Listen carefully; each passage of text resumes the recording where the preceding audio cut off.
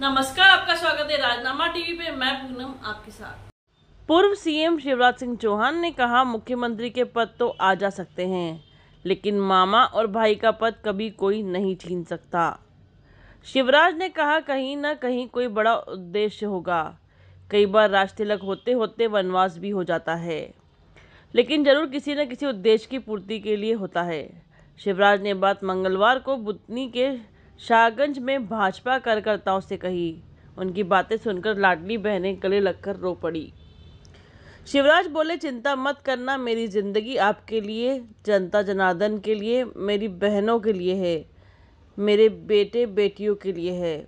इस धरती पर इसलिए आया हूँ कि तुम्हारी ज़िंदगी में कोई तकलीफ़ नहीं रहने दूँगा, तुम्हें छोड़कर कहीं नहीं जाऊँगा। पूर्व सीएम शिवराज ने कहा, मैं बहुत गंभीरता से कह रहा हूँ, तुम्हें छोड़कर कभी नहीं जाऊँगा। क्या इतने छोटे बच्चे कभी सभा में आते हैं? ये अपने मामा के लिए आए हैं। बहनों की योजनाएँ भी जारी रहेंगी और भांजे भांजियों के कल्याण में भी कोई कसर नहीं रहेगी। चाहे गरीब हो, किसान हो, हमने जो कहा है वो करेंगे। लाडली बहना के लिए जो कहा है वो करेंगे। सरकार बीजेपी की है, कांग्रेस की थोड़ी है। शिवराज ने कहा, सरकार काम करेगी। लाडली बहनों के साथ साथ लाडली बहना आवास योजना प्रत्येक परिवार एवं रोज़गार जैसी योजनाओं को सरकार आगे बढ़ाएगी।